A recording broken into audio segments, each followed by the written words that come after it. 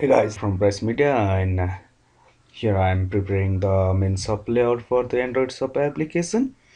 Uh, so let me open the uh, Photoshop design file. Uh, this one is the design for the main sub layout uh, which will be displayed after a login and here we have a different section. Uh, let me zoom it.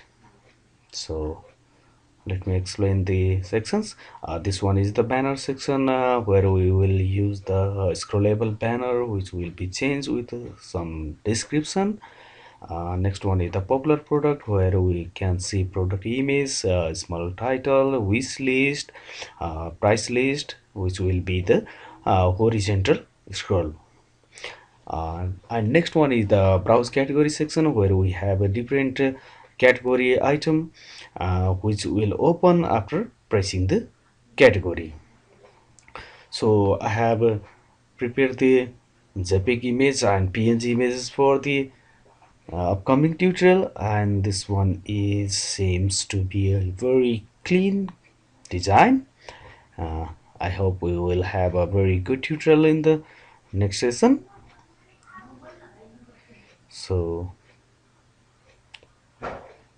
we have prepared all of the icons and banner and uh, popular products.